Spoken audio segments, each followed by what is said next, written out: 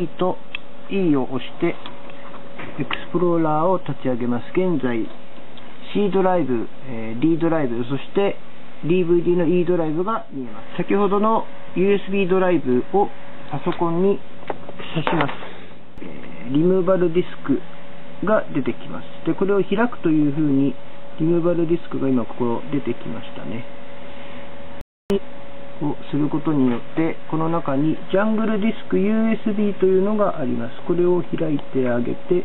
中からジャングルディスクモニターエグゼというのがあるので、これを起動します。そうすると、先ほどのエクスプローラーの中に、えネットワークドライブが1個できました。